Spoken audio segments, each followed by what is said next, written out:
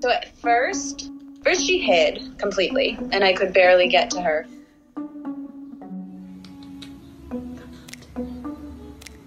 And then she decided she would be chasing, literally chasing me around the room. I had to wear knee high boots.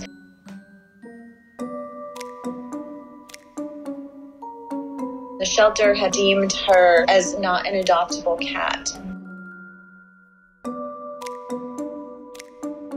I didn't know the extent, but I definitely was ready to commit whatever it took.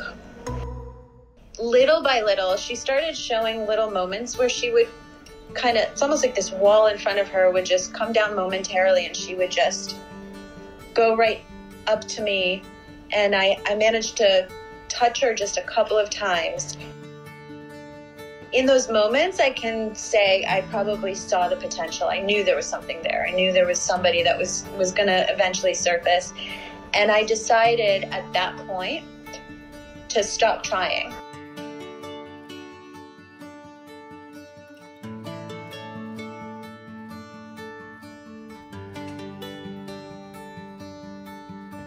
I just said no more. Like just give her her space. She's she's telling me all this time she just needs her own timeline.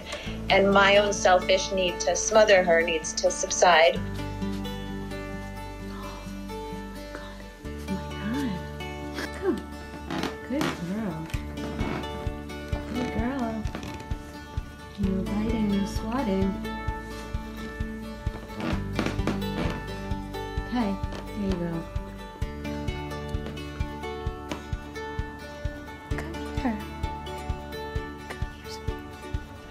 I started practicing by putting treats on my chest. And she would grab them, walk away, and then one night I just woke up and she was all over me.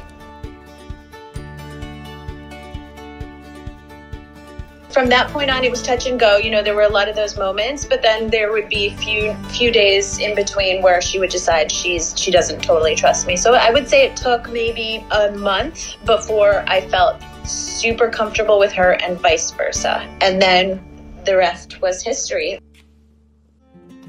Just kind of letting go of that kind of selfish need to connect and really realizing that you're kind of there for the animal. That's a very kind of profound experience if you really tap into it.